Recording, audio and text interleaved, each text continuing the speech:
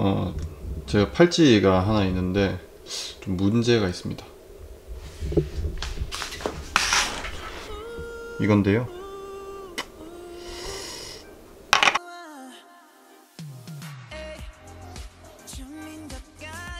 이게 티파니 건데 여자분들은 보시면은 바로 어떤 거다 라는 거를 캐치하시는 분들도 있을 거예요. 남자분들은 조금 생소할 수도 있는데 뭐 티파니에도 여러 라인이 있지만 그 중에서도 꽤 시그니처라고 불릴 수 있는 T스퀘어 라인이거든요.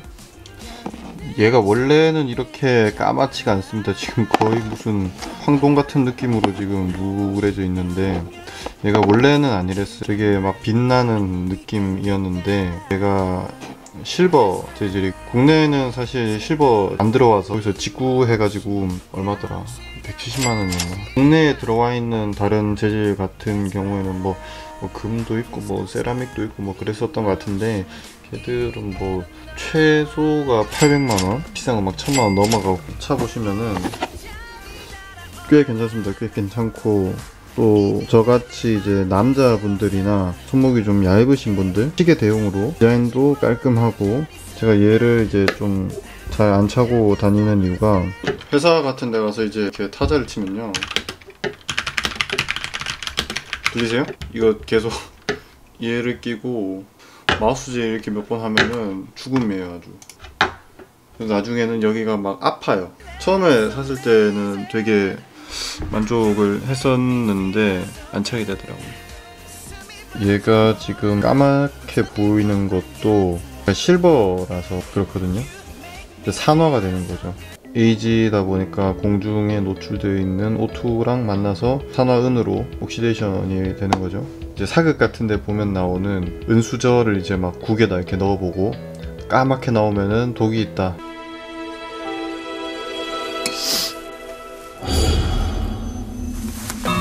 그것도 결국 산화환원 방식을 이용한 어떤 검출 방법이라고 볼 수 있는데 그거랑 이제 지금 같은 현상인 거죠.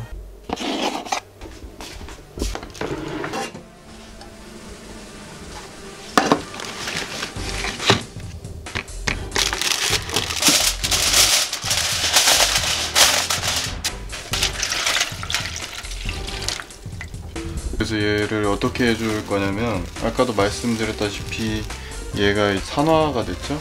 산화의 반대 환원을 시켜 주겠습니다 냄비에다가 이 알루미늄을 이용해서 이 한번 산화된 산화은을 환원시켜 보도록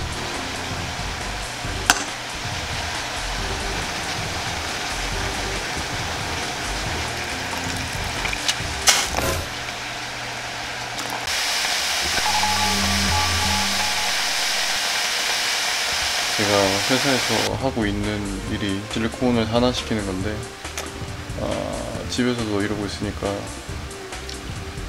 조금 마음이 아프네요. 네. 네. 그래서 보시면은 이렇게 색깔이 거의 돌아왔죠? 흰색으로.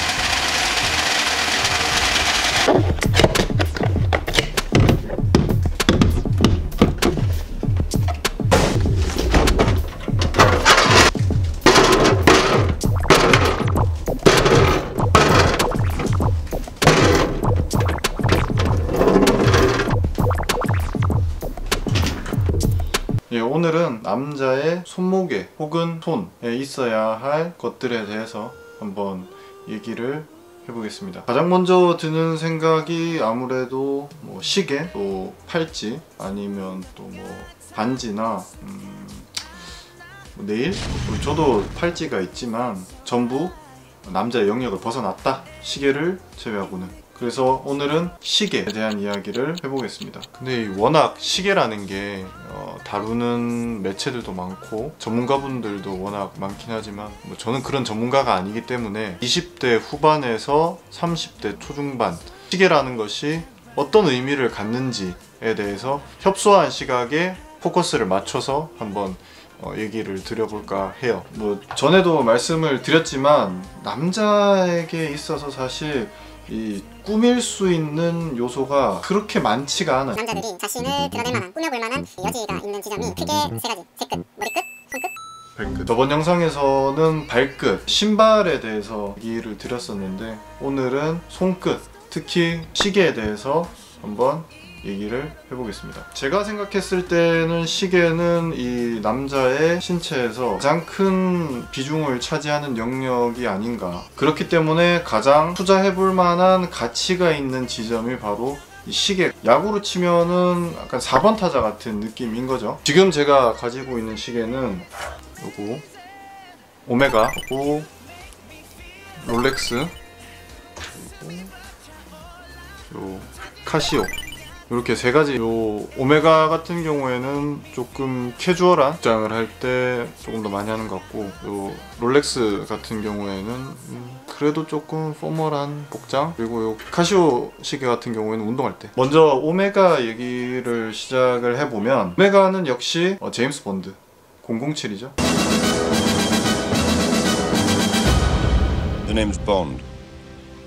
James Bond.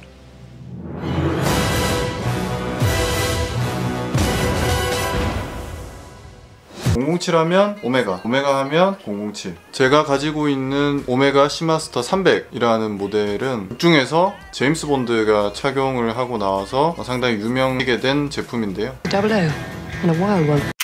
그렇다면 과연 오메가를 상징하는 시계는 무엇이냐라는 질문에는 항상 이 논란이 있어 왔는데 한쪽은 스피드마스터 그리고 한쪽은 시마스터. 공통점으로는 두 시계 모두 인간의 끝없는 탐험 의지를 어, 나타내는 그런 상징적인 시계들이라. 그 중에서도 스피드마스터 같은 경우에는 1969년에 최초로 인류가 아폴로 11호와 함께 달에 첫 발걸음을 내딛었고 그때 함께 했던 시계가 바로 오메가의 스피드마스터. 사실 이 시기는 냉전 시대가 극에 달해 있는 시점이었고 이 사회주의와 자본주의 각 이데올로기에 있어서 이 우주과학 또 항공과학이라는 것이 단순히 그 과학의 영역을 넘어서서 각 이념의 첨단성을 나타내는 어떤 상징과 같은 존재였기 때문에 그래서 이 나사에서 아폴로 11호를 출발시키기 위해서 이 항공과학 같은 경우에는 정확한 시간이 생명이다 보니까 우주선 외에서도 정확하게 작동할 수 있는 시계를 찾아 나섰고 여러 회사들에서 테스트를 받았는데 오메가의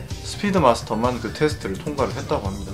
rely on their Speedmaster chronographs to time the mid-course engine burns that ensured their safe re-entry. It worked perfectly, and the capsule splashed down on target in the South Pacific Ocean. Coveted Silver Snoopy Award in Octobus, our dreams, and above all, in ourselves.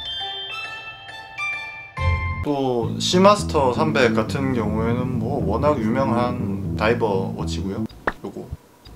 제가 이 시계를 처음 알게 됐던 거는 2006년에 나왔던 007 카지노 로얄이라는 영화에서 Expensive watches. Rolex. Amiga. Beautiful. 극 중에서 제임스 본드가 르시프한테 어, 제대로 빨래질 한번 당하고도 정신 못 차리고 또 조원하게 풀베 박으시는 그 모습을 보고 40 million 500,000 all in. 레이저링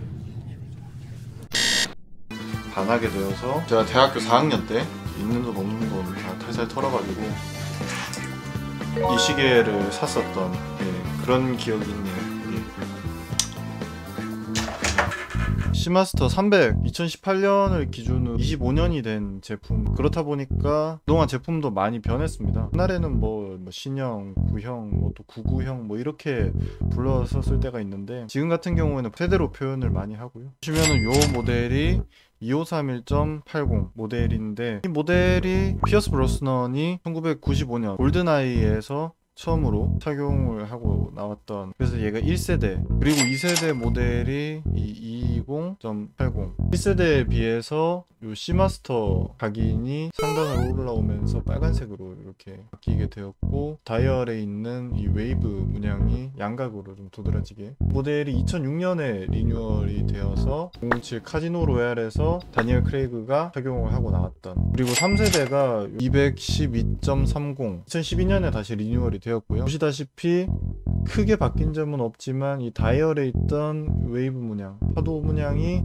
사라졌어요. 이 세라믹 다이얼로 바뀌면서 제가 가지고 있는 모델이 이 3세대 모델이고요. 마지막으로 2018년에 Seamaster 300 시리즈의 25주년 기념을 맞아서 리뉴얼이 된 210.30 모델. 보시다시피 웨이브 문양이 다시 살아났고 워치의 크기가 41mm에서 42mm로. 그리고 보시면은 원래 시계 뒤쪽에 backside가 원래 이 해마가 그려져 있거든요. 이 해마가 Seamaster의 상징인데 4세대로 오면서 see-through back으로 바뀌었다는 점. 가격도 어, retail가 기준으로 475만원에서 650만원 그리고 존나 올랐네요. 근데 이건 딴 얘기긴 한데 다니엘 크레이그가 마지막 출연이라고 확정을 지은 이 No Time to Die가 원래는 원래 개봉을 아니죠. 작년에 원래 개봉을 했었어야 됐는데 작년 4월이었나 그랬는데 아직도 개봉을 못하고 4월에 개봉한다고 했다가 또 원래 11월로 개봉이 또 연기가 되고 그 질병 때문에 뭐 Black Widow도 그렇고 지금 뭐 많은 영화들이 개봉이 지연되고 있는 것은 사실인데 그렇다 보니까 No Time to Die가 촬영을 했을 당시에 제품들을 협찬을 했던 뭐 오메가라든지 여러 다른 브랜드에서 협찬을 했던 제품들이 그 당시에는 최신 모델이었는데 지금 거의 뭐 2년의 시간이 흐르다 보니까 그 제품이 이제 더 이상 최신 모델이 아니게 되면서 재촬영 요구를 하고 있다는 기사를 또 봤거든요. 그래서 아, 이제 좀 그만 보고 싶네요. 노 타임 투 다이. 예. There's just no time to die.